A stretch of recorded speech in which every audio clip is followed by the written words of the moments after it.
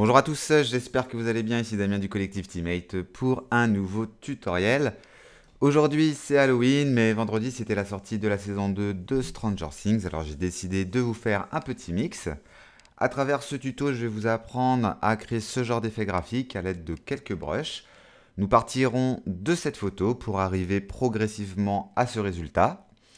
D'ailleurs, si vous avez des idées ou des envies particulières pour les prochains tutos, laissez-nous un message dans les commentaires sans oublier le petit pouce d'encouragement. Allez, let's go c'est parti, je vous propose de commencer le tuto sans plus attendre. Donc comme d'hab, dans un premier temps, je vais vous demander de télécharger le fichier source. Une fois téléchargé, vous le dézippez, vous l'ouvrez et à l'intérieur, vous allez voir différents euh, dossiers et fichiers. Dans le dossier brush, vous retrouverez trois brushes qui vont nous servir pour réaliser l'effet graphique souhaité. Le perso.jpeg, c'est tout simplement l'image de base hein, qui m'a servi euh, pour euh, créer ce tuto. Un peu de sang. Le tuto source, c'est donc le fichier final du tuto. Et le tuto.psd que l'on va venir ouvrir tout de suite. Ici, je vous ai préparé certaines choses en amont. Donc, euh, si je masque certains calques ici, on peut retrouver l'image de départ, hein, le perso.jpeg. Je vais masquer les repères. Pour l'instant, ils ne sont pas utile. Euh, et ce que j'ai fait, c'est que tout simplement, j'ai détouré ce personnage, hein, comme ça, ça va écourter un petit peu la durée de ce tuto, et je vous ai préparé en amont aussi certaines choses, comme dans le dossier ici, euh, les différents titres de l'affiche euh, Netflix, hein, Stranger Things, ainsi que certaines annotations en bas que l'on peut retrouver aussi dans l'affiche originale. Donc pour l'instant, on peut masquer le dossier typo et on va vraiment se focaliser dans un premier temps sur notre, euh, notre personnage principal. Donc pour réaliser cet effet graphique, vous allez voir que c'est pas euh, très compliqué, hein, surtout qu'on va céder deux brushes. Ce qu'on va bien faire dans un premier temps, ça va être de délimiter euh, les contours, en gros, de notre personnage. Donc on peut créer un nouveau calque, pour l'instant on va même pas le, le nommer puisqu'on va le supprimer euh, après. Et on va venir sélectionner notre pinceau. Donc on peut utiliser une couleur rouge dans un premier temps. Donc le raccourci du pinceau, je vous rappelle que c'est B. On peut réduire un petit peu sa taille, augmenter son opacité. Et là, à la main, hein, vous allez euh, tracer voilà les contours du personnage. Même si c'est pas bien fait, c'est pas grave. Ça, c'est vraiment un guide qui va nous, euh, qui va nous servir pour réaliser donc du coup euh, l'effet crayonné, euh, brush que l'on va appliquer au personnage. Donc une fois qu'on a fait ça, c'est très bien, on va pouvoir même le mettre euh, en arrière-plan, c'est-à-dire en dessous le calque perso détouré. Et maintenant, on va pouvoir créer un nouveau calque que l'on va appeler effet graphique. Et à partir de là, on va pouvoir importer nos brushes. Donc brushes qui se trouvent dans le dossier source. Pour les importer, on sélectionne donc notre pinceau, raccourci clavier B. On vient cliquer sur le petit sélecteur ici, sur l'écrou, et on vient cliquer sur importer des formes. On vient récupérer notre dossier source et on vient sélectionner le dossier brush. On appuie sur Shift, on sélectionne nos trois brushes et on clique sur ouvrir. Moi, je ne le fais pas puisqu'elles sont déjà installées sur mon ordinateur. Mais je vous invite du coup à les ouvrir et pourquoi pas à les tester. Hein. Vous voyez, euh, il y en a beaucoup, mais euh, il y en a qui sont vraiment cool. Hein. Donc c'est vraiment des brushes de type euh, brosse, fusain, crayon, pinceau, qui vont nous permettre donc de réaliser des, des petits effets graphiques assez cool. J'annule tout ça. Hop. Et maintenant, je vais vous expliquer comment procéder. On va venir créer un masque de crétage euh, directement sur le perso détouré. Donc pour ce faire, on va venir appuyer sur Alt et on va se mettre entre les deux calques, c'est-à-dire entre le calque perso détouré et euh, le calque effet graphique. On clique et là vous voyez que le perso détouré euh, disparaît.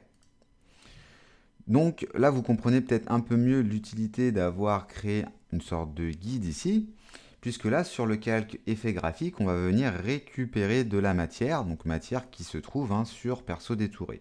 Donc si on prend par exemple notre, euh, une forme n'importe laquelle, une brush, celle-ci par exemple, qu'on la réduit un petit peu, et qu'on vient, vous voyez, donner un petit coup de clic ici et ici, si j'enlève mon guide, voilà, déjà, on a quelque chose de hyper graphique. Donc là, on vient récupérer, grâce à ce masque, de la matière hein, euh, qui se trouve sur perso détouré.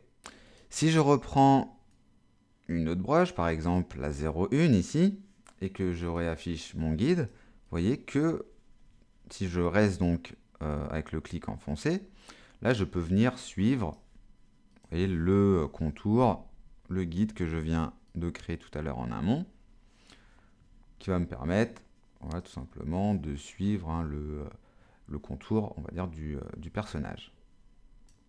Donc là, j'enlève mon guide, voilà. Donc là, c'est juste un petit repère. Hein.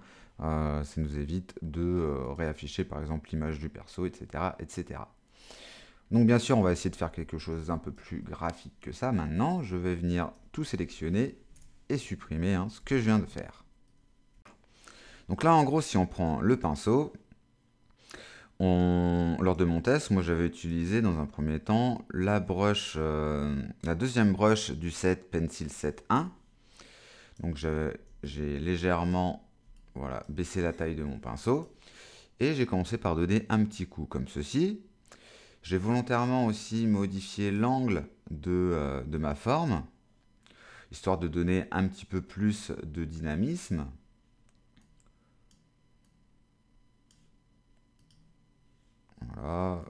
Donner quelques petits coups comme ceci, histoire de faire quelque chose d'un peu graphique. Après, vous pouvez bien sûr vous amuser à utiliser n'importe quelle forme. Euh, là, au moins, on pose, on va dire, euh, quelques petits traits. Et puis après, ne pas hésiter à sélectionner donc, le deuxième set avec des formes un petit peu plus, euh, on va dire, grunge. Vous voyez, comme ceci, tout en baissant l'opacité de votre pinceau. C'est-à-dire là, vous pouvez donner un petit coup comme ça. Donc n'hésitez pas à réafficher le guide. Hein comme tout à l'heure. Voilà. Pourquoi pas en sélectionner une autre. Celle-là, elle a l'air pas trop mal. Et le fait de baisser, voyez, l'opacité, ça va permettre de créer, vous voyez, c'est euh, les petites zones que vous voyez ici, un petit peu plus claires de temps en temps, qui donnent un aspect, on va dire, un, peu cool au visuel. Voilà, on peut faire quelque chose comme ceci. Hop.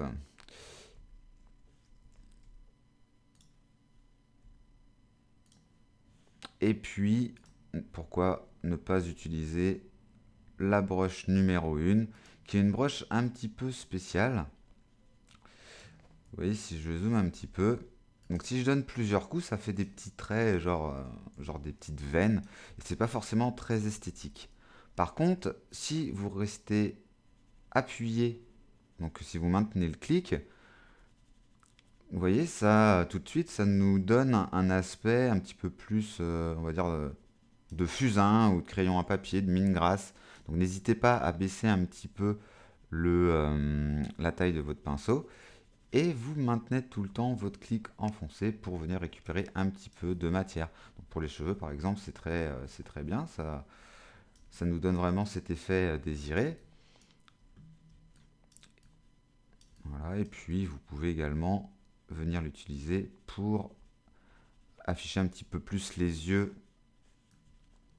du perso principal, etc. etc.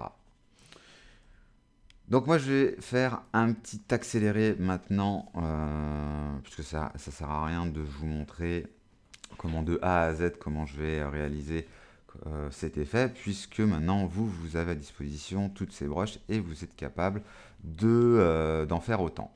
Donc je fais une petite pause, j'accélère et je vous reprends après.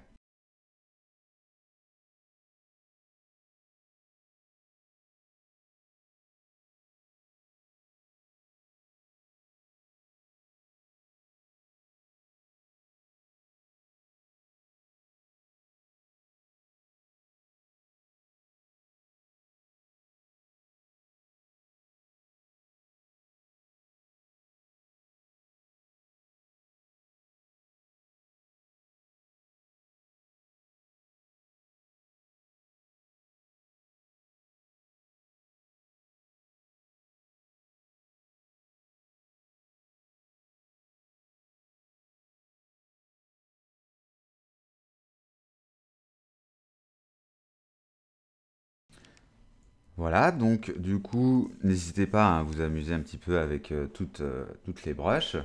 Ce qu'on pourrait venir faire euh, maintenant, ce serait de sélectionner nos deux calques et de les réduire un petit peu, de réafficher nos repères en faisant commande et H, et histoire de simplement centrer un petit peu le, bonhomme, hein, enfin la petite fille du coup, au milieu du document. Là, ça me paraît pas trop mal.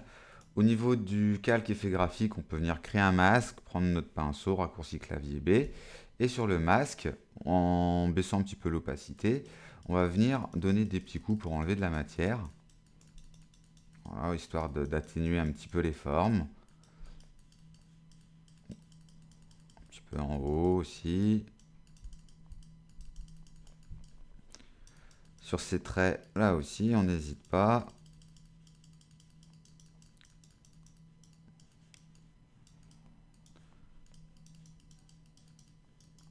un petit sur les épaules, un petit peu en bas aussi, pour que ce soit un petit peu plus esthétique.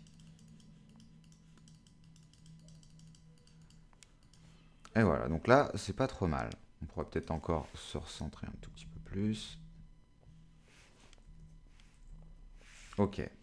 Alors maintenant, on va venir utiliser les courbes de transfert de dégradé qui vont nous permettre de modifier un petit peu les teintes de cette image. Donc généralement, on utilise ces courbes de transfert de dégradé pour modifier l'aspect euh, d'une image et lui donner, on va dire, un aspect un peu euh, plus euh, cinématographique, en colorant les hautes lumières, les gris moyens et les ombres.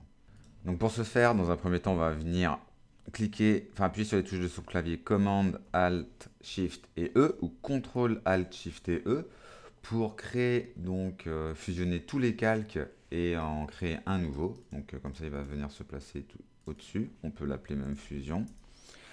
Et on va venir cliquer sur Image, Réglages, Courbe de transfert de dégradé. Donc là, pour utiliser cette courbe, c'est très simple, on vient cliquer dessus. Et vous voyez que là, vous avez accès donc, à deux petits sélecteurs. On peut commencer par utiliser le premier sélecteur afin de lui donner, donc là on va jouer sur les, euh, les, tons foncés de notre image, pour lui donner un aspect un petit peu bleu, euh, bleu nuit comme ceci. On fait OK. Et au niveau des zones les plus claires, donc des blancs, on va plutôt lui donner un aspect, euh, on va dire euh, sépia, un peu comme ceci. Donc ça, ça nous permet d'uniformiser un petit peu déjà la création, à savoir qu'on vous pouvez également rajouter un troisième, une troisième couleur, hein, si vous le souhaitez, pour euh, simplement voilà, modifier encore une fois les teintes. Ici, on ne va pas le faire. On va se contenter euh, d'utiliser un noir, donc, ou un bleu foncé, un bleu nuit, pour les zones les plus foncées, et euh, une couleur gris, gris clair sépia pour les tons les plus clairs. Et on valide en faisant OK. Maintenant, on va venir créer un nouveau calque on peut appeler yeux. Et on va euh, venir euh, lui donner un look un petit peu plus mystérieux hein, à ce personnage. Donc pour ce faire, on vient utiliser le pinceau. On va venir cibler en appuyant sur Alt euh, le noir le plus profond des yeux, hein, par exemple dans, dans, la pupille. Au niveau de l'opacité, on peut se mettre en 100%. Donc si vous êtes sur les nouvelles mises à jour de Photoshop, vous pouvez utiliser le lissage pour vous aider. Donc c'est une option qui est assez pratique puisqu'elle vous permet de créer, voyez, des arrondis assez, euh, bah, assez jolis. Euh, ça nous évite euh, de, tout simplement avoir du crénelage. Vous voyez, là on a une, une impression de crénelage si on n'est pas très précis dans les arrondis du, de notre forme. Alors que là, si on augmente le lissage, on peut tout simplement utiliser ce guide hein, qui est en rose pour pouvoir voilà, avoir des formes assez, enfin plus sexy on va dire.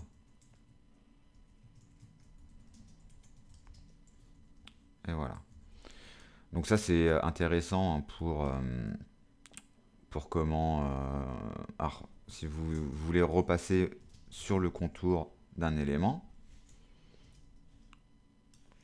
Voilà, et puis de l'autre côté, on peut faire la même chose. On appuie sur Alt pour cibler la zone la plus foncée.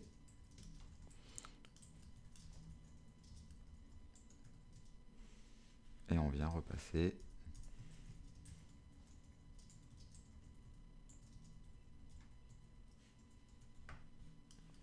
Voilà.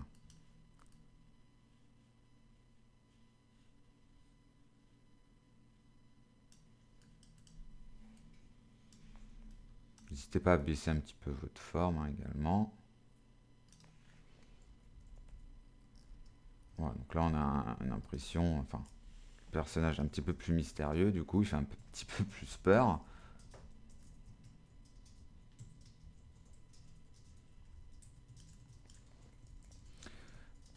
Ok, on va venir créer un nouveau calque maintenant. On reprend notre outil pinceau B et on va venir réutiliser une forme donc type brush.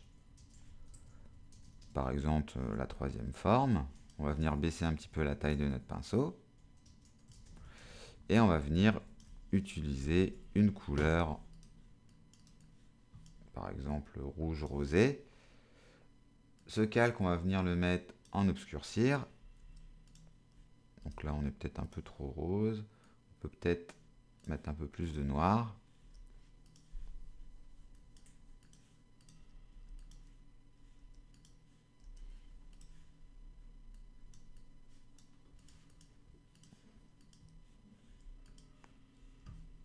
Voilà, l'idée c'est d'apporter juste un tout petit peu de couleur. Donc on peut appeler ça forme rose ou violet même. Et on va faire la même chose, forme bleue, donc sur un nouveau calque. Là, on va venir utiliser soit un bleu ou un bleu vert. Et on va plutôt se mettre ici en incrustation. Voilà, histoire de lui... Euh, comme s'il avait un petit masque hein, sur la tête, du coup.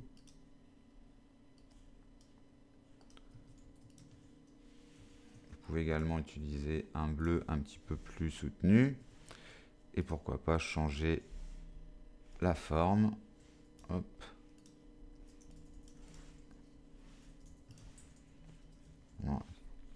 Histoire de lui colorer un petit peu euh, le visage.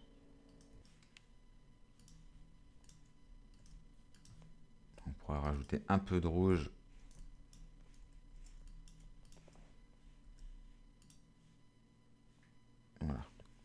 dans le haut de, du personnage, comme ceci. On va venir appuyer encore une fois sur les touches de son clavier Command Alt Shift et E et CTRL Alt Shift et E si vous êtes sur Windows et on appelle ça Fusion 2. Là, on va venir booster un petit peu, euh, enfin même pas booster, on va venir donner un petit effet de, euh, peinture à l'huile et de grain photo. Donc pour ce faire, on vient cliquer dans un premier temps dans Filtre, Galerie de filtre, et on va venir lui spécifier, voilà, grain photo. Donc ça sert à rien de, euh, mettre une valeur trop grande, hein, sinon on va avoir un effet de grain un peu trop important. Donc du coup, là j'ai mis 1, 0 et 1. J'ai cliqué sur OK. Donc là, vous voyez, on, ça apporte déjà un petit peu plus de lumière et de grain. Et on va venir cliquer maintenant sur Filtre, esthétique, peinture à l'huile. Donc la peinture à l'huile va nous permettre aussi de fluidifier un petit peu euh, euh, les, lignes euh, des contours de, notre personnage. Donc là vous voyez en plus sur les cheveux ça donne quelque chose d'assez sympa.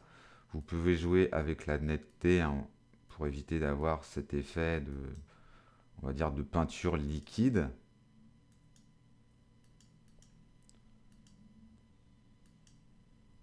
on peut se mettre à 6 et 6.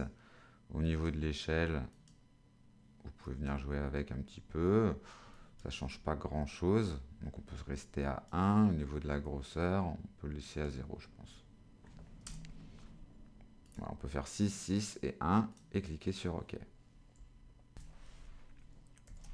On refait un petit commande Alt Shift et E ou CTRL Alt Shift et E qu'on vient appeler Fusion 3.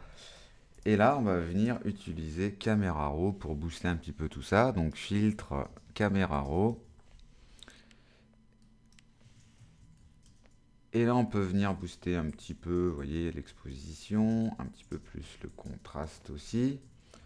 Les tons clairs, on peut les descendre un peu, les tons foncés aussi, les blancs aussi, les noirs un petit peu aussi. La clarté pour ajouter un petit peu plus de détails. On peut jouer aussi sur la vibrance et un petit peu sur la saturation, histoire de booster un peu plus nos, euh, nos couleurs. Et là, on peut venir cliquer sur l'onglet virage partiel euh, pour booster un petit peu également les rouges et les couleurs plus foncées. Donc là, en gros, les teintes, donc j'ai dit que les tons clairs, j'aimerais bien avoir un peu plus de rouge dans les tons clairs et dans les tons foncés, un petit peu plus de bleu, bleu nuit. Après, vous voyez, on peut jouer avec la balance pour dire, bah non, en fait, je veux un peu plus de rouge dans mon document, ou à l'inverse, un peu plus de bleu.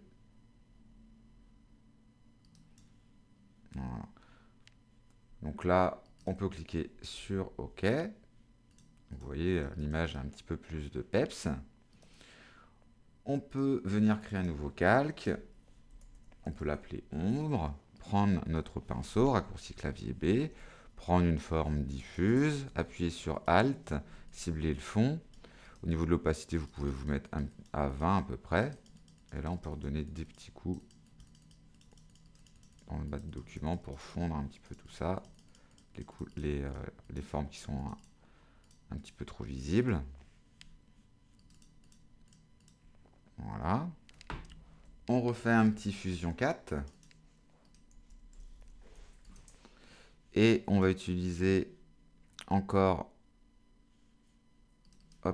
notre euh, réglage courbe de transfert de dégradé. Là, on va plutôt partir, non pas sur du bleu, mais sur du rouge.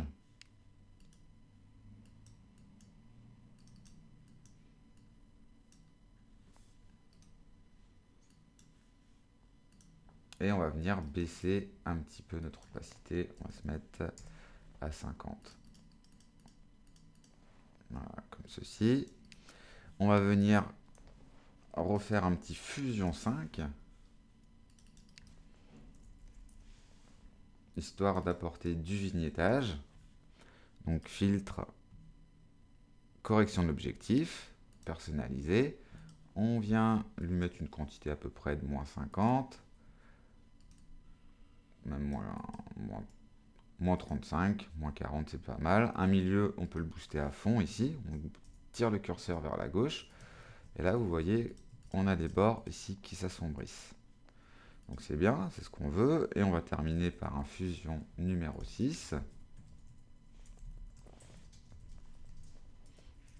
Où on va venir réutiliser notre ami caméra raw.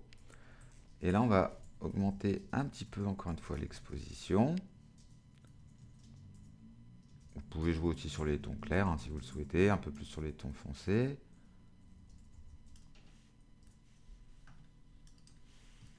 La clarté, on peut la booster un petit peu aussi.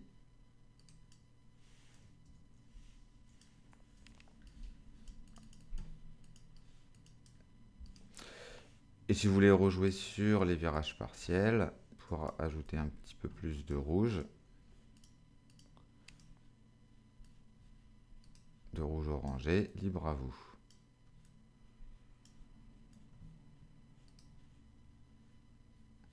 moi je vais faire un truc un peu comme ça, ça me paraît pas mal. Et j'ai rajouté un petit peu plus de peps à l'image, un peu plus de couleur. Et maintenant, on peut venir cliquer sur filtre, bruit, ajout de bruit. Donc là, ça va nous uniformiser encore une fois un peu plus la création en apportant du grain. Donc 3, c'est peut-être un peu gros. On peut essayer de se mettre à 2. Vous voyez, à 100%, à 2, ça passe très bien. Et voilà. Donc là, on a une petite création assez, euh, sympa. C'est coloré, c'est un peu mystique. Et voyez que si on raffiche du coup notre typo, eh bien, euh, ça s'intègre parfaitement à la création. On aurait pu, je fais un petit CTRL Z du coup ajouter du grain après, c'est-à-dire comment afficher le calque typo, faire un fusion 7, et recliquer sur filtre, ajout de bruit. Voilà, comme ça la typo est bien pris en compte dans l'ajout de bruit. Et si vous voulez encore aller plus loin, si vous avez par exemple un, une brush pardon, euh, à effet de particules, vous pouvez créer un nouveau calque. Si vous avez suivi plusieurs de mes tutos, hein, normalement vous avez ce type de brush. Prendre donc une broche à particules, un peu de bleu au niveau de la couleur, puisqu'à droite ici vous voyez qu'il y a une dominante quand même de bleu. Et par exemple sélectionner une autre couleur, ici donc un rouge un peu plus clair. Voir ce que ça donne. C'est peut-être pas assez clair. Prendre donc encore une fois une broche de type particule, modifier un peu son orientation.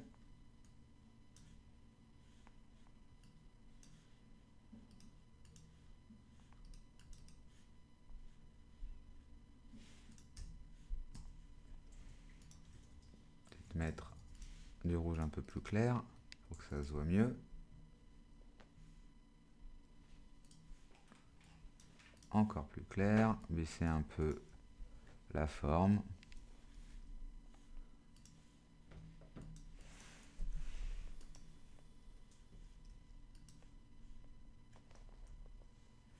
Et voilà. Vous pouvez également prendre une broche différente et vous mettre euh, en blanc par exemple. Vous pouvez baisser encore un peu l'opacité à 15.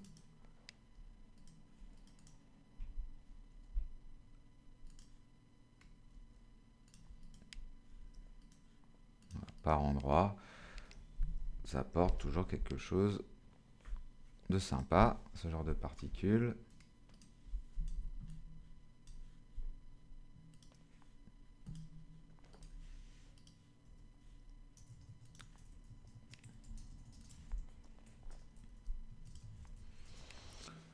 Voilà, et si vous voulez vous amuser à prendre le sang dans, dans le dossier euh, image, vous pouvez vous le mettre en produit, baisser un petit peu son opacité, ou prendre la gomme, raccourci clavier E, du coup, lui, on le pixelise.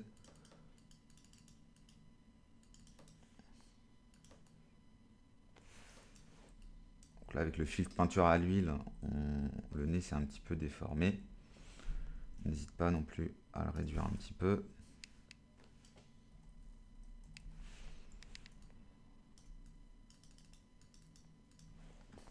Donc voilà, le tuto se termine, j'espère que vous l'avez apprécié. Si vous avez des questions, n'hésitez pas à me les poser dans les commentaires.